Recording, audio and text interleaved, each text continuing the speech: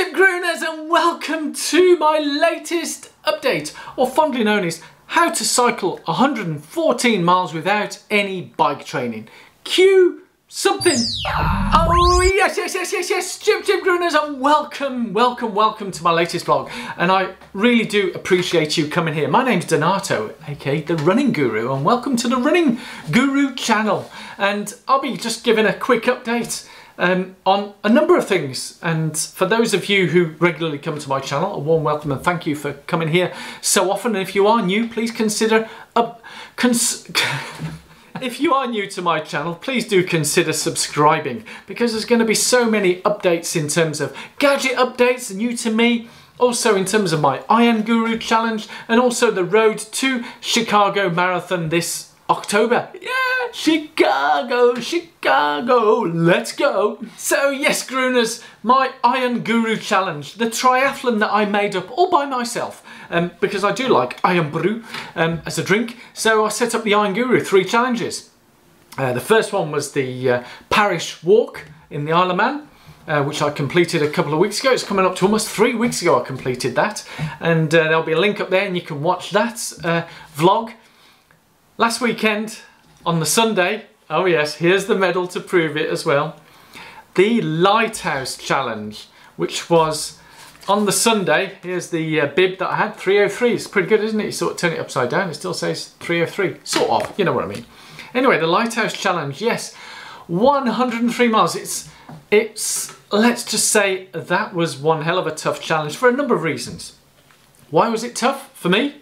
Um, tough for two reasons. One is I didn't have a bike, so I had to borrow a bike and kindly supplied to me by Cycle 360, those lovely chaps here at the uh, bike shop, loaned me uh, one of their personal bikes. So uh, yeah, I borrowed a bike and I got to try it on the Thursday of last week. So just a couple of days before. So I had a little cycle out to try out the uh, camera kit and stuff and things just to see how it works. And obviously wash my kit because I had no cycle kit before so I had to make sure as you know like with running you don't want to try new kits just in case certain things happen and chafing and all that kind of stuff but I won't go into that detail. And the other reason why it was tough is I obviously not having had a bike I had no cycle training so I hadn't done any training. So how the hell did I complete 103 miles? Well actually on the day I had over just over five miles to cycle to the start of the race. And then when I finished the 103 mile epic um, lighthouse challenge, I had a little over five miles to cycle back. Interesting enough, to cycle back was all uphill.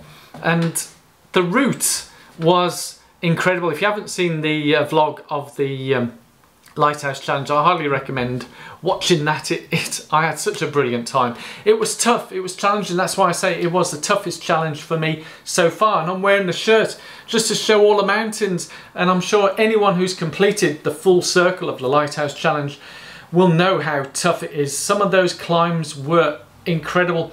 I'll, I'll, I will not use the expletives that were used, but um, it began with B and ended with tard and all those types of so sharp. I mean, I won't go through all of them and blow by blow, but if you're a cyclist and you want to do a challenge, and a real, really tough challenge, I would highly recommend this. Get over to the Isle of Man, and as you see from that vlog, it's at the time of year that the weather was glorious, maybe a bit too hot, but uh, I put the sun cream on and drunk lots of fluids. I think I got through about six litres of water and drinks and energy stuff and ate lots of food. And what was brilliant about it is there was three fueling stops um, all spread out across the uh, island and and I, as you've probably seen on the vlog, I did fill my face with lots of sandwiches, sausages, and, and all sorts of food that was, I was just eating because at the end of the day I was expending a lot of calories. I managed to get round, according to my uh, timing slip here, I managed to get round in uh, 8 hours and 23 minutes. Obviously that's uh,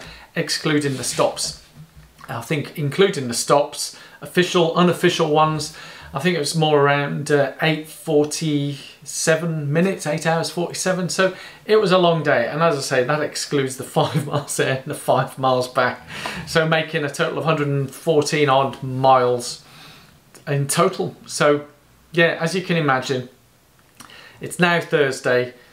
I'm beginning to get my energy back and feeling there was lots of points there where I was feeling a bit dizzy and even on the Monday I still hadn't fully recovered when I was back at work and yeah, I feel more recovered now. I've done a couple of runs. I'm back out because obviously I need to train ready for my uh, third part of the Iron Guru Challenge, which is the Isle of Man Half Marathon.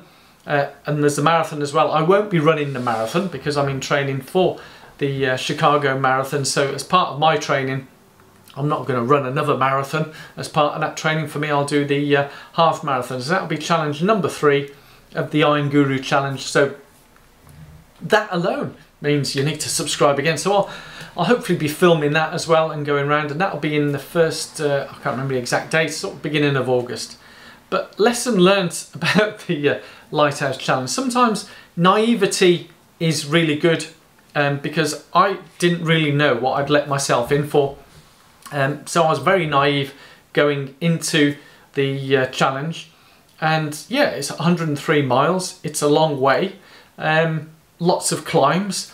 I wasn't expecting the climbs to be so brutal, um, but it was more for me the descents in terms of because I've not really ridden a bike in many many years, and this was a borrowed bike, and it was a top top bike. I mean, it's a Cube C62 race carbon fibre. I think it's about three thousand pounds worth of kit. Uh, for my Canadian friends, I think it's about 6,000 Canadian dollars. I don't know how many US dollars for my US friends, but it was a lot of money and it's an expensive bike, a fast bike. So it's great going up the mountains, but coming down a bit too fast for me. So lots of brakes were being applied all the way through. It had disc brakes. It was fantastic. It felt so good. But obviously after a number of hours, as you can imagine down there, it was getting a bit numb and sore. I won't go into all those details. During the parish walk, I needed uh, a number of these, or I should have put them on Compeeds for the blisters on my feet. During the cycling, I was so grateful for these gloves with the uh, gel protections on my hands here, on the palms. These had gone so red raw, there was sort of blisters beginning to appear um, on both hands because it was shaking and battering and all that kind of stuff on the roads. As you can imagine, it was in an incredible challenge, but I did love it. I mean, especially the point where I took a wrong turn and ended up on Laxey Beach. I so felt like it was glorious blue skies. The sea looked so inviting. It was a nice, beautiful beach and I just felt like just leaving the bike and going for a swim in the sea just to cool down. But uh, I just carried on and, and finished the uh, ride because I think going into uh, the uh, Irish Sea and as, as refreshing as it may have been, I don't think it might have been the best idea for me to uh, continue that race in that way, but it's fantastic. And as I said on the actual vlog, if you are looking for an incredible bike challenge, I would highly recommend that. And uh, and it was great. And the beauty uh, of doing the ride is having my new uh, Garmin Fenix 5. I logged my longest ride. Yay! So there's lots of uh, records broken on that. So I seriously did enjoy it. Fantastic. And uh, yeah, onwards and onwards to the next set of training. So yes, my friends, I mentioned about the uh, next sets I'm going through over the next coming weeks, months, in no particular order, or it might be in a particular order. I'll be going for a VO2 max test, uh, you know, the full mask and oxygen intake and all that kind of stuff with a proper professional and uh, just to see what it is because I think some of these devices might not be too spot on and, and accurate. So I need to have a look in terms of how my fitness level is right now and what kind of training and how I can push myself. So again, worth a subscribe if you want to see how that went and how that's going to get go through. So there's the VO2 max testing. Also coming up will be regarding my Fenix Fenix 5. Shall I take this off so you can see it's it's a great piece of kit. And if you've not seen my unboxing, have a look at the uh, unboxing. It's a beautiful, beautiful piece of uh, machinery kit. It does so many things on it. I'm just discovering lots of things on here. So I'll be doing a review in more detail of things I've found on here what I'm going to be uh, using it for. But one of the things that will be happening, hopefully in the next week or so, is I'll do what they call a lactate threshold test. So I'll be trying out um, a lactate threshold test on this thing and I'll go through how, how that works works for me, but it's, it's great. I have this on all the time. 24-7 uh, so it's recording my uh, sleep my heart rate pattern throughout the day and it does all sorts of amazing wonderful things which I, I think uh, are great um, I'm a little unsure about the price obviously I got it at a good deal But for those who buy them new, I know that the Fenix 5 Plus is out. And when I see prices of uh, $1,000 for those, I do think, mm, you, you know, come on Garmin and all the other manufacturers out there, the prices do seem a little bit on high. What's your views on the prices of these uh, gadgets and uh, what you use them for? Is there a bit too much? Too low, too high? Do you think it's reasonable? Obviously we all have a choice. We don't have to buy these and we can use whatever devices, but I'd be interested in your feedback at the price of these uh, gadgets. So over the coming weeks I'll be doing talks more about the Garmin and the uh, lactate threshold test because that's something I've not seen before and I thought I'd try it out. Let's see how it works. And of course, last but not least, I'll be going finishing off the third of my challenges of the Iron Guru Challenge and building up towards the Chicago Marathon in October, which I'm seriously looking forward to because I've heard that the Chicago pizzas are amazing, so I can't wait to get some Chicago pizza down my neck. I might even um, take part in some other events through the weekend that's going on there. I don't know yet. I tend to just plan things last minute, see how I feel, how things are going. The only thing that is planned is that I will be running the Chicago Marathon for the first time ever for myself and I can't wait. It'll be the fourth of my marathon majors and so so far I've done, um, if you've seen, oh, Oh, I had a bit of an itch on my nose there. So yeah, it'll be my fourth of the marathon majors um, that uh, I would have completed in uh, ooh, a little under 12 months. So last year I done New York in November, followed by uh, Boston in that brutal weather, uh, wind, rain. It was, it was, oh, it was amazing.